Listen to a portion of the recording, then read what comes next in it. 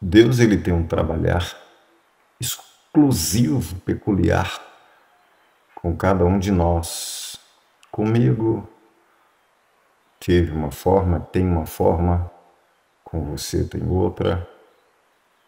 Mas o importante é saber que o amor dele para conosco é verdadeiro, eficaz. O amor dele não é aquele que oscila. Quando nós sentimos essa oscilação, a fraqueza não está em Deus, a fraqueza está em nós. As coisas da vida que nos sobrevêm, elas que fazem a gente sentir a sensação de que Deus nos deixou, que Deus não está nos ouvindo, que nós não sentimos nada, não vemos nada, não vemos uma saída, não vemos um sinal dele. É as coisas da vida que faz nós sentirmos essa sensação, tá?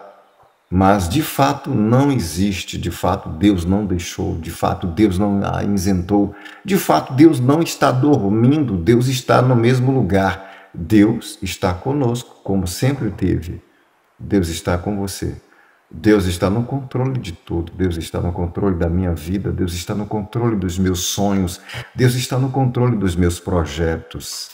Deus está no controle da nossa vida. Deus está no controle de tudo.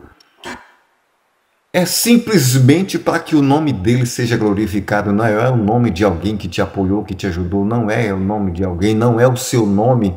Não é o nome de, de outras pessoas para si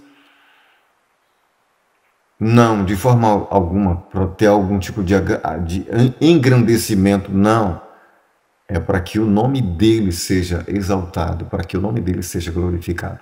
Apesar disso tudo que você, eu, nós temos vivido, mas Deus está sempre conosco e é o nome dele que será glorificado. Então creia, não desista.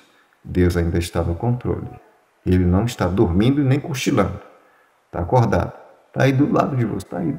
Está aí com você. Está aí contigo. Ele está aí. É só uma sensação. Ah, mas eu senti. Não, você apenas sentiu. Foi uma sensação que você sentiu. Ele está aí. Está com você. Creia. Amém?